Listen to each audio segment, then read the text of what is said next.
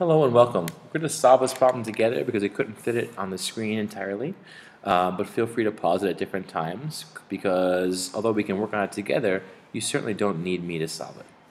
Alright, so it says graph f of x equals x squared and g of x equals 2 to the x power. So we have a quadratic or parabola, right? And we have an exponential function as well. So we should think about really quickly um, what the general shape of quadratic and exponential look like. I'll, I'll sketch that over here. So our Q for quadratic, that's going to be some kind of parabola, right? And E for exponential, if it's a growth exponential, you'll see something like this. That's for growth, if it's increasing in value. And for decay, that means we're losing value, it's something like this. So we should think about the general shape before we get to specifics. Now here in this graph, we're going uh, for the x values where x is greater than or equal to 0. And you can see in this graph down here that they kind of cut it off so x is only positive. So I'm going to write, sorry, I'm going to point out that there's two ways that I would go about doing this. One is to make a table for each function. And I'm just going to notice, look at the x values here. We've got 1, 2, 3, 4, 5, 6, 7, 8, 9, and 10. So that means our domain, that means the domain, the,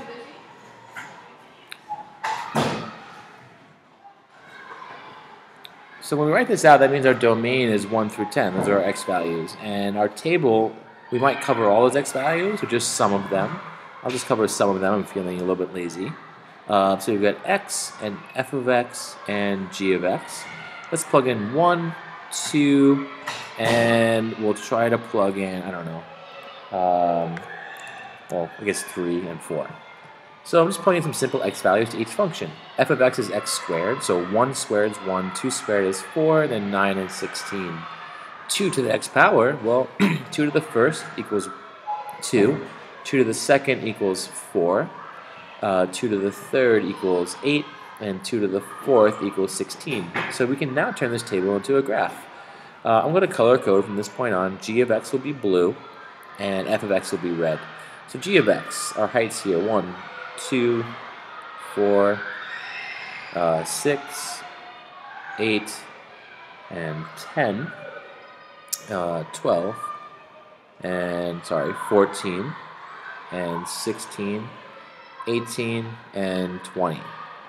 I just want to go through, across the full range. Remember, domain is the x values, range is the y values. And our x values are 1, 2, 3, 4. The y values for our points are 2, 4, 8, 16. So we plot 1, comma 2, 1, 2, 2, 4 here, 3, 8, see it's getting steeper, that nice exponential growth, and 4, 16, so here. So here's our exponential function. Right? And now let's do the quadratic.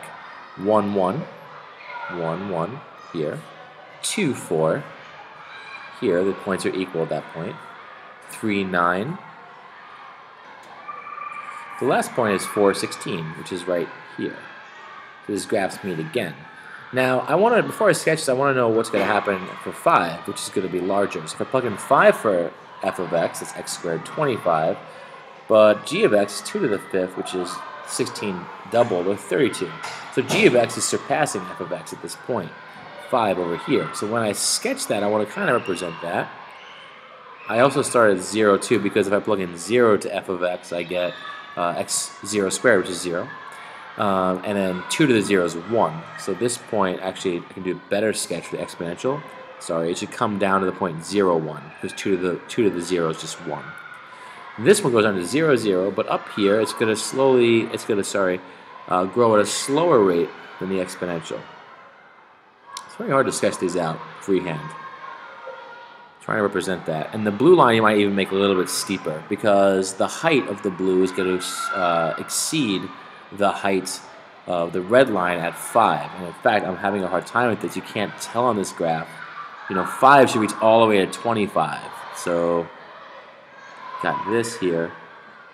They're both, you can't really tell which one's which. So what you might do is, uh, sorry, label some key points like 3, 9, and then 4, 16. You might label a couple of these points so they know uh, you understand what's happening on the graph. We've got 3, 8 for the g of x. We've got 2, 4 for both g of x and f of x here. Label those points. Um, now we know that g of x is going to uh, have a higher value, uh, higher height than f of x. Uh, once x reaches 5, you can see that g of x is higher than f of x. So we can say that down here. Uh, I'll say it this way. g of x has a greater value than f of x when x equals 20. Even before I get to, I know at 5, g of x already is already has a higher value, but I can plug it in.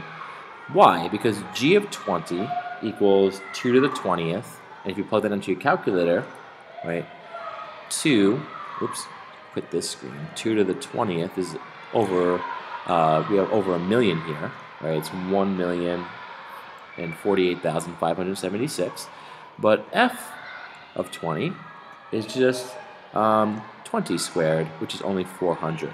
You can see that g of 20 is way larger, even though on our graph here we can't really tell which one's which. Sorry about that. Uh, they kind of cut us off there in the interval. We can see that g of x is actually larger in the end. So the only thing you might do to fix the, uh, fix your graph, again, label, be clear about it. Um, you can even draw arrows like this, f of x equals x squared, and you can say here this is g of x, oh boy, I got it backwards. f of f of x is this one down here, that's x squared, and g of x is this one, which is 2 to the x, just to show them that you know which graph is which, even if like like if yours is as messy as mine, as long as you label, uh, they will give you the credit. Thanks.